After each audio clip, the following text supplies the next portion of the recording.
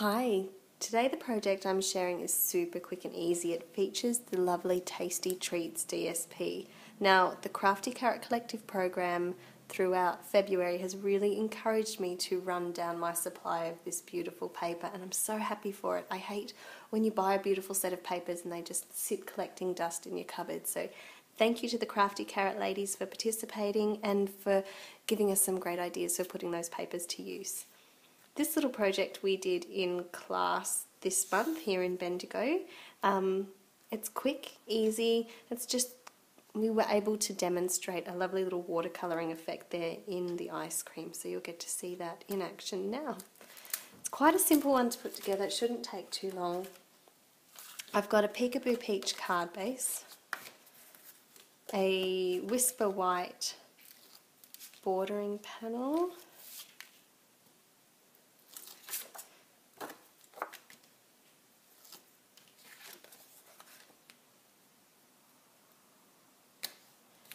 goes on flat there. Piece of that Tasty Treats DSP.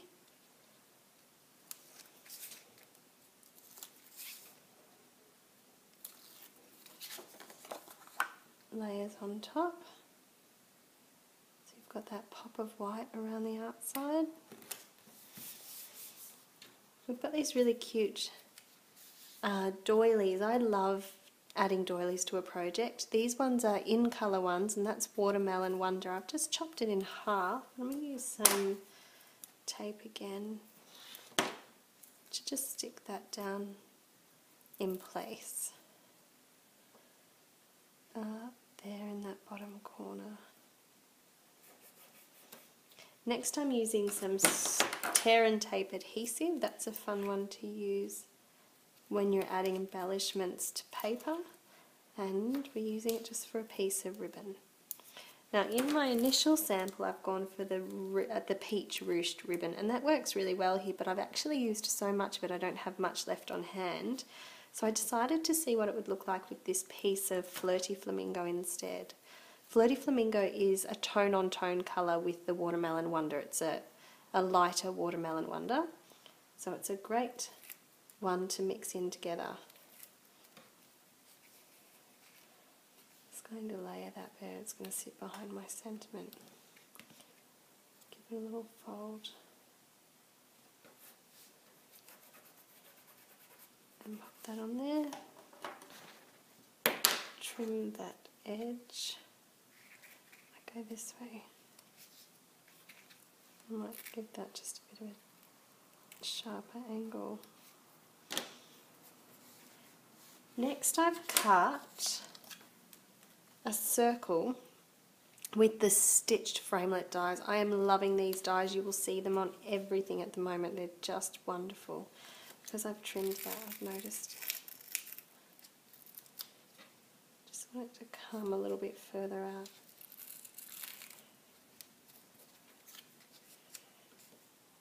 There. Sit that back a little bit there. Alright, I'm going to stamp this one with the sentiment from the Suite Sentiment stamp set. I'm loving the best things in life are sweet to match in with these gorgeous little ice creams.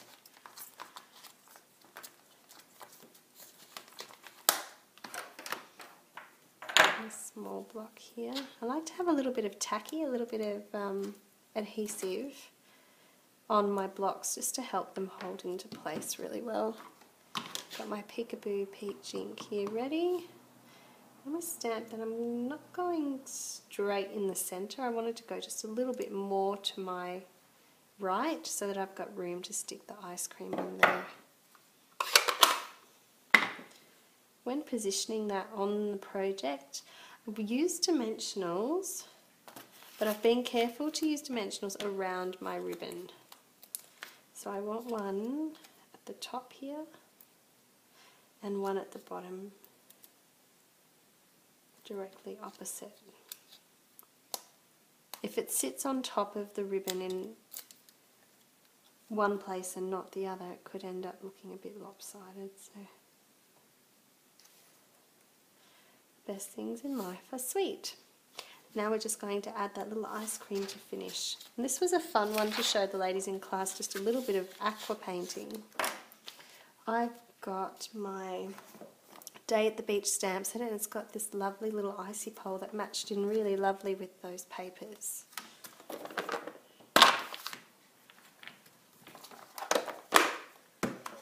I've chosen to stamp that with Versamark ink onto a piece of shimmer white cardstock. Then I'm adding some white embossing powder. I'm going to heat set that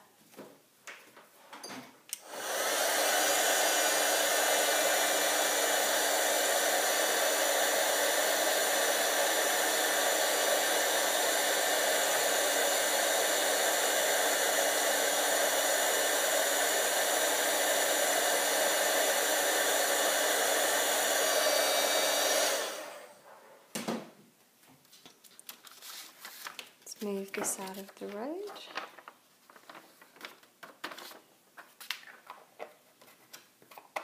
And just add a little bit of colour.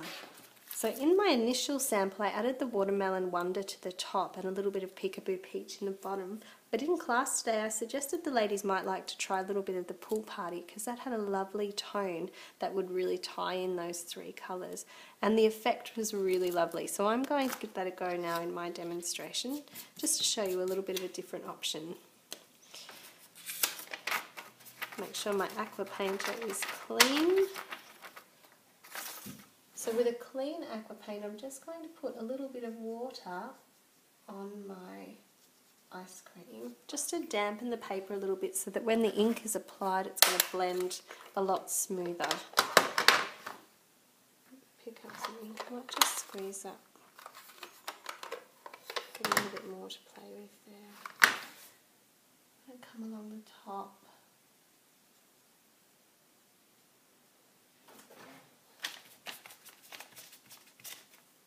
A little bit of peach in the middle.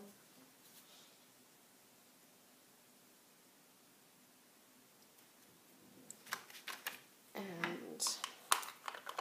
a bit of the watermelon wonder to the base. So you can see because I wet that first, the colours are blending in really well. I'm just add a little bit of darker red around the bottom. And in fact, I might just, while the blue is out, pick up as much dark colour as I can and just pop a little bit more dark. Deepen that colour just through the top and that's going to blend through there. The last thing left to colour is just a little stem. Even add just a little more orange. Push that down a little bit. Alright, so the paddle pop stick there at the bottom is a brown tone to match the browns in the paper. I haven't gone with a Sahara Sand or a Tip Top Taupe. I'm just using my early espresso watercolour pencil because I've got that here handy. Give that stick a little, picking up the colour like that and just adding it on.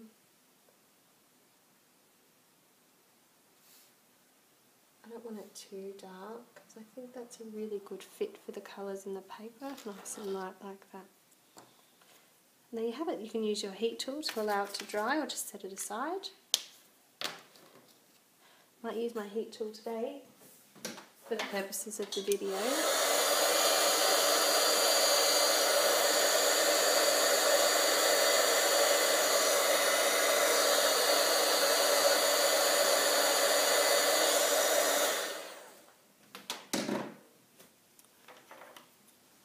Cut that out.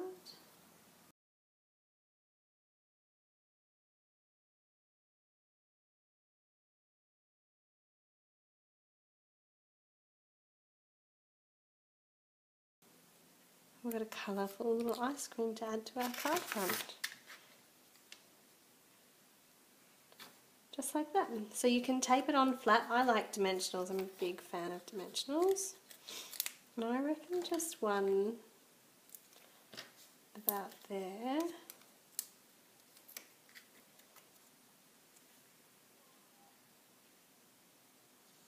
Just going to hold that on nice. And there you have it, a fun little project that features a touch of watercolouring. Here's the other option again so you can see the difference. I hope you enjoyed this project. Thank you for watching.